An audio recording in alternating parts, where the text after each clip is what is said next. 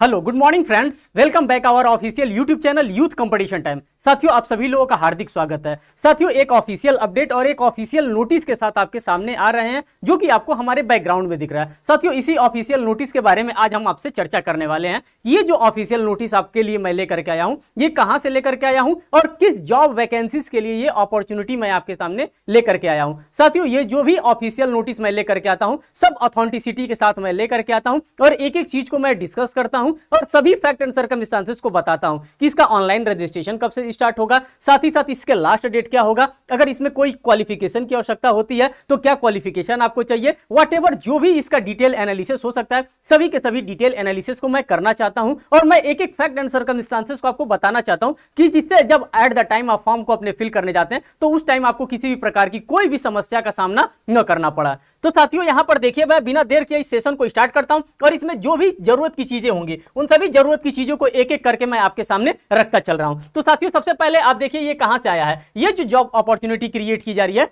UCIL कहाँ से साथियों? ये आप लोगो, देखिए, इस लोगो को देख करके आपको पता चल जाएगा यूसीआईएल ये इसका फुल फॉर्म क्या होता है साथियों, अगर हम बात करते हैं, uranium corporation of India limited. सबसे तो पहले आपको यह जानकारी होना चाहिए कि ये जो एडवर्टाइजमेंट आ रहा है, ये आ कहाँ से रहा है? तो साथियों, मैं आपको बता देना चाहता हूँ कि ये पब्लिक इंटरप्राइजेस कंपनी है और इसी पब्लिक इंटरप्राइजेस कंपनी से क्या आ रहा है? आपके पास एक जॉब अपॉर्चुनिटी आ रही है। और ये कौन सा है? Uranium corporation of India limited की बात करते हैं। एक government of India enterprises Bharat सरकार का ये क्या है? एक उपक्रम है और इसी के अंतर्गत आपसे क्या मांगा जा रहा है? एक आपसे जॉब अपॉर्चुनिटी यहाँ पे क्रिएट की गई है और, और आपसे एप्लीकेशन फॉर्म यहाँ पे भरने के लिए कहा जा रहा है। देखिए साथियों, ये जो है इनका ऑफिशियल वेबसाइट है। ये क्या है? ये ऑफिशियल वेबसाइट है। कभी भी कोई भी आप फॉर्म को फिल करते हैं तो आपको कहाँ जाना होता है? आपको ऑफिशियल वेबसाइट पर जाना होता है और उसी ऑफिशियल वेबसाइट पर जाकर के आपको क्या करना होता है? आपको वर्क करना होता है। अगर हम बात करते हैं, ये क्या है? तो कर रहा है रिक्रूटमेंट फॉर वेरियस पोस्ट के बारे में बात कर रहा है। किसकी पोस्ट के बारे में बात कर रहा है? तो साथियों, जो रिक्रूटमेंट होता है विभिन्न विभिन्न पोस्टों के लिए, अब आप कहेंगे कि किस किस पोस्ट के लिए तो अभी सभी पोस्टों का हम क्या करते हुए चलेंगे? सभी पोस्ट का पोस्टमार्टम करते हुए चलेंगे, जिस जिस पोस्ट के लिए यहाँ पे जॉब अपॉर्चुनिटी क्रिएट किया गया है। तो आप देखिए एडवर्टाइजमेंट नंबर की अगर हम बात करते हैं तो ज़ीरो फोर दो हज़ार तेईस का है। मीन्स की ये क्या है? ये अपडेटेड इन्फॉर्मेशन है। और इसी अपडेटेड इन्फॉर्मेशन को वाईसीटी आपके सामने क्या करता है? इसी अपडेटेड इन्फॉर्मेशन को यूथ कंपटीशन टाइम आपके सामने फर्निश करता है। एक एक इन्फॉर्मेशन को हम यहाँ पे देखते हुए चलेंगे। साथियों, यहाँ पर देखिए किस चीज़ की बात कर रहा है? कर रहा है uranium corporation of India limited. किस चीज़ की बात कर रहा है?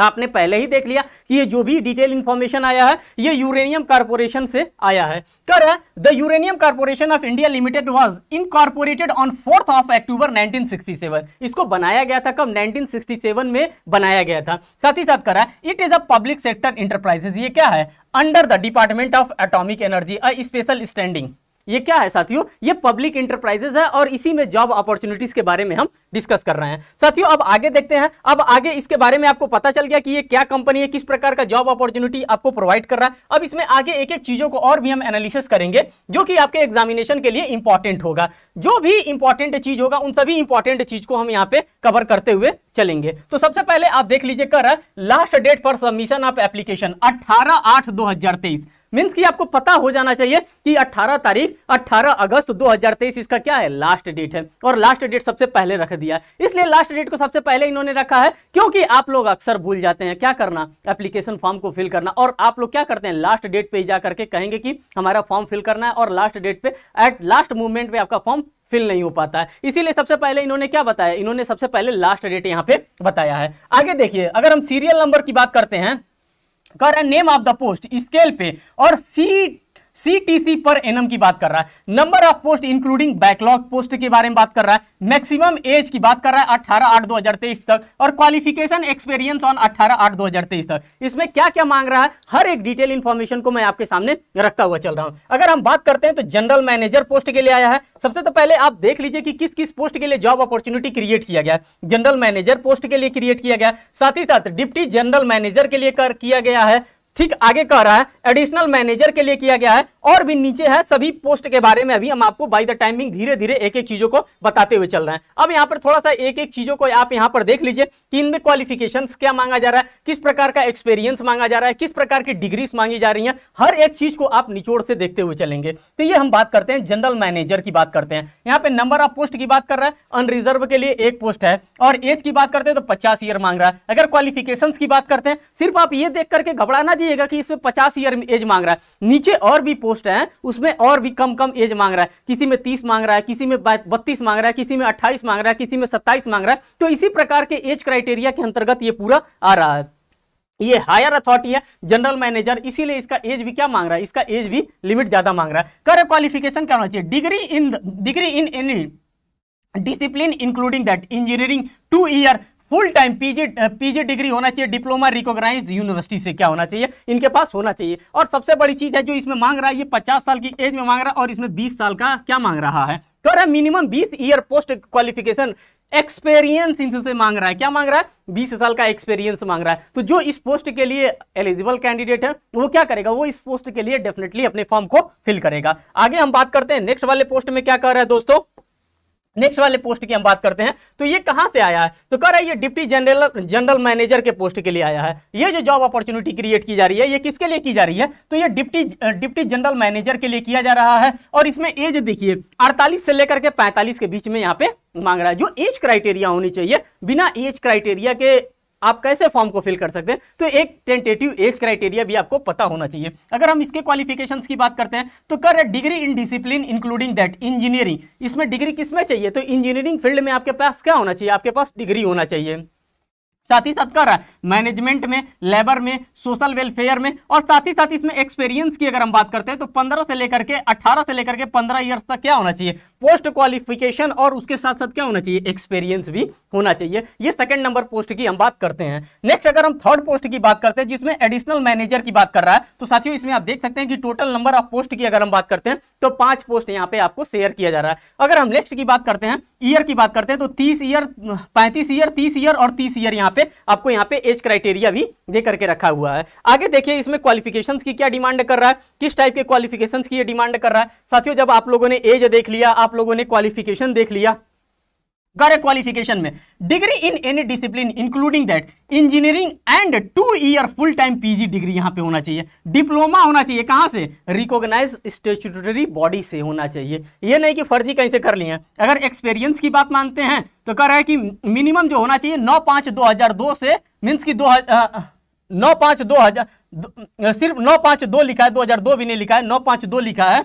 ईयर पर। मीन्स की दो ईयर का आपसे क्या मांग रहा है? दो ईयर का यहाँ पे आपसे एक्सपीरियंस मांग रहा है। यही इनके एक्सपीरियंस क्वालिफिकेशन के अंतर्गत डिमांड किया जा रहा है। क्या दो साल का आपके पास मिनिमम इसमें एक्सपीरियंस होना चाहिए? नेक्स्ट की अगर हम बात करते हैं कि नेक्स्ट इसमें क्या आता है तो नेक्स्ट पोस्ट की अगर हम बात करते हैं साथियों तो नेक्स्ट पोस्ट में देखिए आपका कौन कौन सा पोस्ट आ रहा है। मीन्स की कुल मिला जुला के 10 से 12 पोस्ट है और इन्हीं 10 से 12 पोस्टों का हम क्या करेंगे? एक एक करके बाइफर्केट करके देखेंगे। अब यहाँ पे इस पोस्ट की अगर हम बात करते हैं फोर्थ नंबर में तो कह रहा है असिस्टेंट मैनेजर की बात कर रहा है। किसकी बात कर रहा है दोस्तों? तो ये असिस्टेंट मैनेजर की बात कर रहा है। असिस्टेंट मैनेजर पर्सनल की बात कर रहा है। और इनके अगर पे ग्रेड की बात करते हैं तो चालीस हज़ार से लेकर के एक लाख चालीस हज़ार रुपए तक का इनका पे ग्रेड यहाँ पे प्रोवाइड किया गया। इसमें एक पोस्ट दिया है, अगर हम एज की बात करते हैं तो तीस ईयर यहाँ पे एज क्राइटेरिया आपको दे रखा है। अगर हम क्वालिफिकेशन की बात करते हैं तो degree in any discipline including that the engineering and two year full time PG degree diploma होना चाहिए। रिकॉग्नाइज बाई स्टेट्यूज और इसमें क्या मांग रहा है? Two year post qualification relevant means की जहाँ पे तीस ईयर आपको एज दिख रहा है, वहाँ पे आपसे क्या मांग रहा है?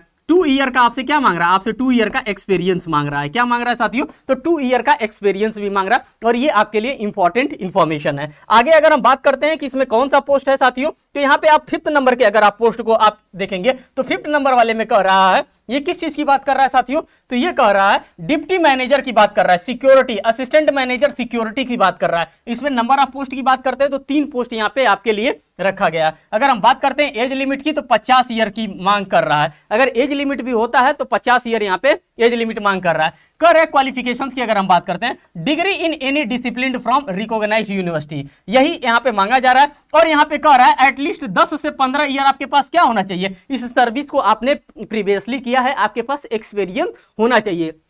और इनडायरेक्टली वे में कहा जाए तो एक्सपीरियंस की डिमांड यहाँ पे की जा रही है। फिर नेक्स्ट अगर सिक्स नंबर वाले पोस्ट की हम बात करते हैं तो सिक्स नंबर वाले पोस्ट में आप देखेंगे कि यहाँ पे किस किस चीज़ की डिमांड की जा रही है। तो देखिए, यहाँ पे चीफ सुपरिटेंडेंट की बात की जा रही है। किसकी बात की जा रही है साथियों? तो चीफ सुपरिटेंडेंट की बात की जा रही है। यहाँ पे जो पोस्ट है चीफ सुपरिटेंडेंट सिविल की बात कर रही है सुपरिटेंडेंट सिविल की बात कर रही है एडिशनल सुपरिटेंडेंट की बात कर रही है डिप्टी सुपरिटेंडेंट की बात कर रही है, और इन लोगों का क्या दे रहा है? इन लोगों का पे ग्रेड दे रहा है। मान के चलिए कि इसमें आपको एक हैंडसम सैलरी भी आपको यहाँ पे प्रोवाइड किया जाएगा। अगर हम बात करते हैं कि एसटी के लिए एक पोस्ट यहाँ पे जारी किया गया। और एज लिमिट की हम बात करते हैं तो 45 भी है 40 भी है 35 भी है और 30 भी है। जो जिस कैटेगरी से बिलोंग कर रहा है उसी के अकॉर्डेंस में यहाँ पे एज रिलैक्सेशन की बात भी की जा रही है। किसी में 30 मांग रहा है, किसी में 35 मांग रहा है, किसी में 40 मांग रहा है और एज वेल एज 45 तक आपको यहाँ पे मांग रहा है। अगर हम क्वालिफिकेशन की बात करते हैं तो कह रहे हैं डिग्री इन सिविल इंजीनियर और इक्वावेलेंट क्या होना चाहिए? डिग्री होना चाहिए सिविल इंजीनियरिंग में और उसके समकक्ष कोई ना कोई डिग्री आपके पास होनी चाहिए। अगर हम एक्सपीरियंस की बात करते हैं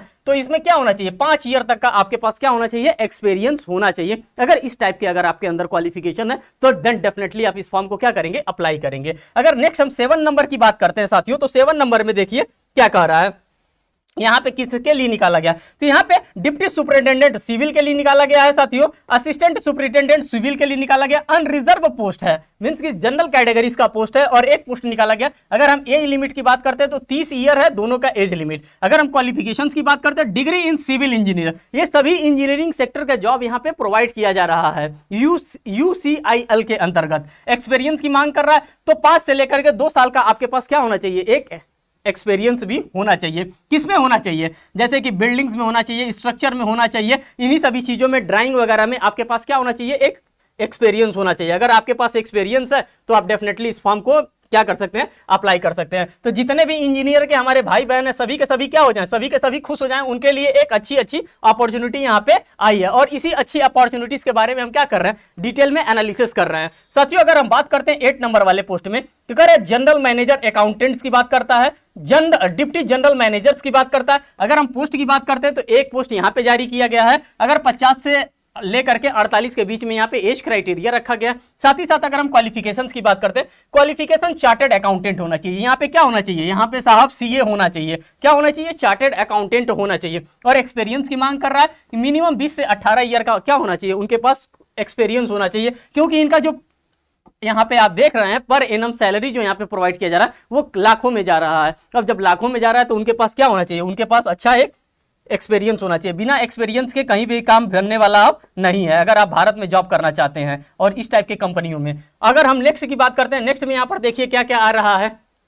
यहाँ पे नाइन्थ नंबर के अगर हम कॉलम को देखते हैं तो यहाँ पे मैनेजर अकाउंट्स के आ रहा है एडिशनल मैनेजर अकाउंट्स आ रहा है डिप्टी मैनेजर अकाउंट्स आ रहा है असिस्टेंट मैनेजर अकाउंट्स आ रहा है। अगर हम बात करते हैं टोटल नंबर ऑफ़ पोस्ट ग्यारह टोटल नंबर ऑफ़ पोस्ट की बात करते हैं। एज की हम बात करते हैं, चालीस से लेकर के तीस के बीच में एज दिया है। क्वालिफिकेशन की बात करते हैं तो यहाँ पे भी सीए के ही पोस्ट के लिए निकाला गया चार्टेड अकाउंटेंट और इसमें भी एक्सपीरियंस क्या मांगा जा रहा है?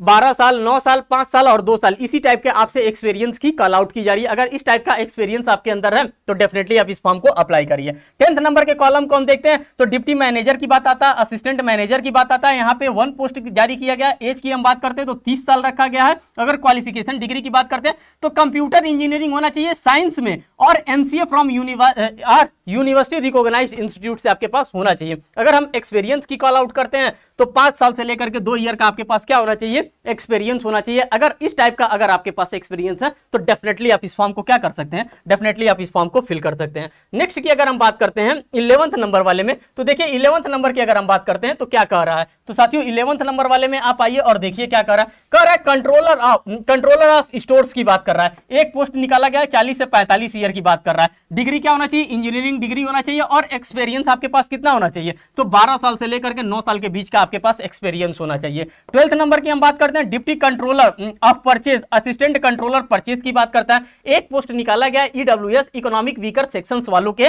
लिए। एज की बात करते हैं तो तीस साल है क्वालिफिकेशन की बात करते हैं। तो इसमें भी इंजीनियरिंग डिग्री की डिमांड की जा रही है। और अगर हम मिनिमम क्वालिफिकेशन की बात करते हैं तो पाँच से लेकर के दो साल तक आपके पास मिनिमम क्वालिफिकेशन होना चाहिए। तेरह नंबर की पोस्ट की बात करते हैं एडिशनल सुपरिटेंडेंट की बात करती है, डिप्टी सुपरिटेंडेंट की बात करती है। एक पोस्ट जारी किया गया है ईडब्ल्यूएस सेक्टर के लिए इकोनॉमिक वीकर सेक्शन के लिए। एज की अगर हम डिमांड करते हैं तो 30 से लेकर के 35 साल का यहाँ पे एज क्राइटेरिया मांगा गया है। क्वालिफिकेशन में डिग्री मांगा गया है। किसमें केमिकल केमिकल इंजीनियरिंग में और मेटिकुलरजल इंजीनियरिंग में और एमएससी मांगा गया है। अगर एक्सपीरियंस की बात करते हैं तो 9 साल से लेकर के 5 साल के बीच का आपके पास क्या होना चाहिए? आपके पास यहाँ पे एक्सपीरियंस होना चाहिए। फिर हमारे पास एक और पोस्ट आ जाता है, इस पोस्ट को भी देख लेते हैं और इन्हीं सभी पोस्टों के साथ अब हमारा ये सेशन भी समाप्त हो जाएगा। आप लोगों को बहुत परेशान होने की आवश्यकता नहीं है, क्योंकि यही सेशन में इतना ही था, जितना था, सभी चीज़ों को हम डिटेल में एनालिसिस करते हुए चल रहे हैं। अब देखिए, यहाँ पे अभी मैं आपके सामने ये भी रखूँगा कि इसका ऑनलाइन रजिस्ट्रेशन कब से स्टार्ट है। अभी लास्ट डेट तो आप लोगों ने देख लिया। कि 18 तारीख रखा गया है। अब देखिए 14 नंबर में एडिशनल सुपरिटेंडेंट के लिए आया है डिप्टी सुपरिटेंडेंट और माइंस के लिए आया है। इसमें टोटल नंबर ऑफ़ सीट पाँच है। अगर हम एज की बात करते हैं तो 35 से लेकर के 30 ईयर के बीच की अगर आप हैं तो डेफिनेटली आप इस फॉर्म को अप्लाई करेंगे। अगर क्वालिफिकेशंस की बात देखते हैं तो बैचलर डिग्री मांग रहा है। किसमें इंजीनियरिंग में बैचलर डिग्री आपके पास होना चाहिए। अगर हम क्वालिफिकेशन की बात करते हैं, नौ साल, पाँच साल और दो साल का आपके पास क्या होना चाहिए? मिनिमम क्वालिफिकेशन क्राइटेरिया होना चाहिए। अगर इस टाइप का क्वालिफिकेशन है तो आप डेफिनेटली इस फॉर्म को अप्लाई करेंगे। और फिफ्थ नंबर की हम बात करते हैं एडिशनल सुपरिटेंडेंट सर्वायर की बात करते हैं। दो सीट के लिए यहाँ पे निकाला गया जॉब अपॉर्चुनिटी और एज की अगर हम बात करते हैं तो तीस से लेकर के पैंतीस ईयर आपको यहाँ पे प्रोवाइड किया गया अगर हम क्वालिफिकेशन को देखते हैं तो माइन सर्वायर का आपके पास क्या होना चाहिए? एक सर्टिफिकेट होना चाहिए। और इसमें अगर हम एक्सपीरियंस की बात करते हैं तो नौ साल से लेकर के पाँच साल के बीच का आपके पास क्या होना चाहिए साथियों? एक अच्छा एक्सपीरियंस होना चाहिए। अगर इस टाइप की चीज़ें हैं आपके पास तो डेफिनेटली आप इस फॉर्म को अप्लाई कर सकते हैं। अब ऑनलाइन रजिस्ट्रेशन के बारे में देख लेते हैं। एप्लीकेशन कब से स्टार्ट हो रहा है? अभी तक तो आप लोगों ने देख लिया कि हाँ क्या क्या चीज़ें था।